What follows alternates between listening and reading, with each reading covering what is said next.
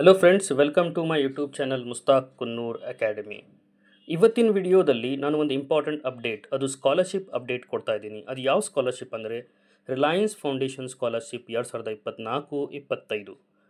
Friends ಇದ್ರದ್ದು date ಬಂದುಬಿಟ್ಟು date extend ಆಗಿದೆ. ಫಿಫ್ಟೀನ್ತ್ ಅಕ್ಟೋಬರ್ ತನಕ ಇದು ಡೇಟ್ ಎಕ್ಸ್ಟೆಂಡ್ ಆಗಿದೆ. ಈ ವಿಡಿಯೋದಲ್ಲಿ ನಾನು ಕಂಪ್ಲೀಟ್ ಇನ್ಫಾರ್ಮೇಷನ್ ಕೊಡ್ತಾ ಇದ್ದೀನಿ. ಇದು ಯಾರಿಗೆ ಅಪ್ಲೈ ಆಗುತ್ತೆ ಯಾರಿಗೆ ಅಪ್ಲೈ ಆಗೋದಿಲ್ಲ, ಯಾವ ಥರ ಸ್ಕಾಲರ್ಶಿಪ್ ಅಪ್ಲೈ ಮಾಡಬೇಕು ಸ್ಕಾಲರ್ಶಿಪ್ ಸೆಲೆಕ್ಷನ್ ಕ್ರೈಟೀರಿಯಾ ಏನು ಎಲ್ಲ ಮಾಹಿತಿ ಈ ವಿಡಿಯೋದಲ್ಲಿ ತಿಳಿಸ್ಕೊಡ್ತೀನಿ. ಈ ವಿಡಿಯೋ ಮುಂದೆ ಹೋಗೋಕ್ಕಿಂತ ಮುಂಚೆ ಫ್ರೆಂಡ್ಸ್, ನೀವು ಚಾನಲನ್ನು ಸಬ್ಸ್ಕ್ರೈಬ್ ಮಾಡಿಲ್ಲ, ಲೈಕ್ ಮಾಡಿಲ್ಲ ಅಂದರೆ ಚಾನಲ್ನ ಸೈಪ್ ಸಬ್ಸ್ಕ್ರೈಬ್ ಮಾಡಿ, ಈ ವಿಡಿಯೋ ಲೈಕ್ ಮಾಡಿ ಮತ್ತು ಈ ವಿಡಿಯೋ ನಿಮಗೆ ಹೇಗೆ ಅನಿಸ್ತಾ ಇದೆ, ನಾವು ಹೆಂಗೆ ಇಂಪ್ರೂವ್ ಮಾಡ್ಕೋಬೋದು ಅಂತ ಕಮೆಂಟ್ ಮಾಡಿ ಹೇಳಿ. ಬನ್ನಿ ಫ್ರೆಂಡ್ಸ್, ಮುಂದೆ ಹೋಗೋಣ. ರಿಲಯನ್ಸ್ ಫೌಂಡೇಶನ್ ಸ್ಕಾಲರ್ಶಿಪ್ ಎರಡು ಸಾವಿರದ ಇಪ್ಪತ್ತ್ನಾಲ್ಕು ಇಪ್ಪತ್ತೈದು. ಇದು ರಿಲಯನ್ಸ್ ಫೌಂಡೇಶನ್ನಿಂದ ಕೊಡ್ತಾ ಇರೋ ಸ್ಕಾಲರ್ಶಿಪ್. ಇದರಲ್ಲಿ ಬಂದುಬಿಟ್ಟು ಎರಡು ಥರ ಸ್ಕಾಲರ್ಶಿಪ್ ಇದೆ. ಒಂದು ಪೋಸ್ಟ್ ಗ್ರ್ಯಾಜುಯೇಷನ್ ಸ್ಕಾಲರ್ಶಿಪ್ ಇನ್ನೊಂದು ಅಂಡರ್ ಗ್ರ್ಯಾಜುಯೇಷನ್ ಸ್ಕಾಲರ್ಶಿಪ್ ನಾವು ಮೊದಲಿಂದಾಗಿ ಅಂಡರ್ ಗ್ರ್ಯಾಜುಯೇಟ್ ಸ್ಕಾಲರ್ಶಿಪ್ ಬಗ್ಗೆ ಮಾಹಿತಿ ಕೊಡ್ತಾ ಇದ್ದೀನಿ. ಅಂಡರ್ ಗ್ರ್ಯಾಜುಯೇಟ್ ಸ್ಕಾಲರ್ಶಿಪ್ ಬಂದುಬಿಟ್ಟು ಇದ್ರದ್ದು last date fifteenth of October twenty twenty four ಇದನ್ನು ಡೇಟ್ ಎಕ್ಸ್ಟೆಂಡ್ ಮಾಡಿದ್ದಾರೆ. ಇದಕ್ಕೆ ಬೇಕಾಗಿರೋ ಎಲಿಜಿಬಿಲಿಟಿ ಕ್ರೈಟೇರಿಯಾ ಅರ್ಹತೆ ಏನಂದರೆ ಇಂಡಿಯನ್ ರೆಸಿಡೆಂಟ್ ಆಗಿರಬೇಕು ಮತ್ತು ಕ್ಲಾಸ್ ಟ್ವೆಲ್ಲಲ್ಲಿ ಅಂದರೆ ಪಿ ಯು ಸಿಯಲ್ಲಿ ಸಿಕ್ಸ್ಟಿ ಪರ್ಸೆಂಟ್ ಪರ್ಸೆಂಟೇಜ್ ಮಾಡಿರಬೇಕು ರೆಗ್ಯುಲರ್ ಬೇಸಿಸ್ ಮೇಲೆ. ನೀವು ಫುಲ್ ಟೈಮ್ ಅಂಡರ್ ಗ್ರ್ಯಾಜುಯೇಟ್ ಕೋರ್ಸನ್ನು ಪರ್ಸ್ಯೂ ಮಾಡ್ತಿರಬೇಕು. ಅಂದರೆ ಬಿ ಎ ಆಯಿತು ಬಿ ಕಾಮ್ ಆಯಿತು ಬಿ ಇ ಆಯಿತು. ನೀವು ಇದೇನಿದೆಯಲ್ಲ, ಈ ಕೋರ್ಸು ರೆಗ್ಯುಲರ್ ಬೇಸ್ ಮೇಲೆ ಇರಬ, ಇರಬೇಕು ಡಿಸ್ಟೆನ್ಸ್ ಇರಬಾರ್ದು. ಮತ್ತು family income maximum or fifteen lakh ಅದಕ್ಕಿಂತ ಕಡಿಮೆ ಇರಬೇಕು. ಆದರೆ ಟೂ ಪಾಯಿಂಟ್ ಫೈವ್ ಲ್ಯಾಕ್ ಮತ್ತು ಅದಕ್ಕಿಂತ ಕಡಿಮೆ ಇದ್ದರನ್ನು ಇವರು ಪ್ರಿಫರೆನ್ಸ್ ಕೊಡ್ತಾರಂತೆ ಇಲ್ಲಿ ಹೇಳಿದ್ದಾರೆ.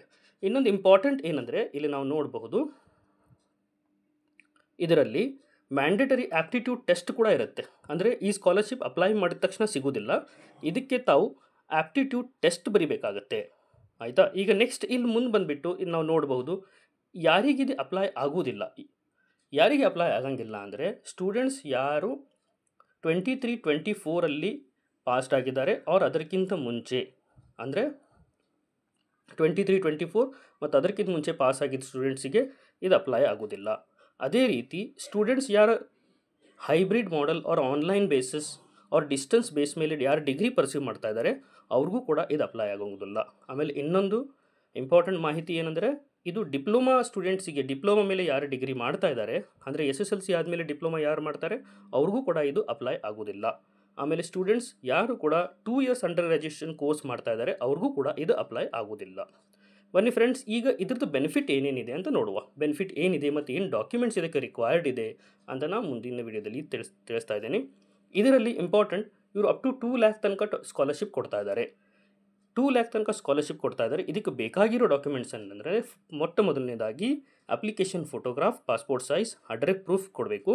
ಆಮೇಲೆ mark sheet S S L C ಮತ್ತು ಟ್ವೆಲ್ತದ್ದು ಆಮೇಲೆ ಸ್ಟಡಿ ಸರ್ಟಿಫಿಕೇಟ್ ಕಾಲೇಜ್ಲಿಂದ ಅದೇ ರೀತಿ ಫ್ಯಾಮಿಲಿ ಇನ್ಕಮ್ ಮತ್ತು ಇನ್ ಕೇಸ್ ಡಿಸಬಿಲಿಟಿ ಇದ್ದರೆ ಅಂದರೆ ಫಿಸಿಕಲಿ ಚಾಲೆಂಜ್ಡ್ ಇದ್ದರೆ ಅವರು ಕೂಡ ತಮ್ಮ ಸರ್ಟಿಫಿಕೇಟನ್ನು ಕೊಡಬೇಕಾಗತ್ತೆ. ಇದನ್ನು ಯಾವ ಥರ ಅಪ್ಲೈ ಮಾಡಬೇಕಂದ್ರೆ, ಸ್ಟಡಿ ಫಾರ್ ಬಡಿ ಆ್ಯಪಲ್ಲಿ ಹೋಗಿ ತಮ್ಮ ಅಕೌಂಟನ್ನು ಕ್ರಿಯೇಟ್ ಮಾಡಿಬಿಟ್ಟು ನೀವು ಸ್ಕಾಲರ್ಶಿಪ್ಪನ್ನು ಅಪ್ಲೈ ಮಾಡಬೇಕಾಗತ್ತೆ. ಇಲ್ಲಿ ಇಂಪಾರ್ಟೆಂಟ್ ಕೆಲವೊಂದು ನೋಟ್ ಇದೆ. ಅದೇನೆಂದರೆ, ಫಸ್ಟ್ ನಾವು ಅಪ್ಲೈ ಮಾಡಿದ ನಂತರ ನಮಗೆ ಇಮೇಲ್ ಮುಖಾಂತರ ಕನ್ಫರ್ಮೇಷನ್ ಕೊಡಲಾಗುವುದು.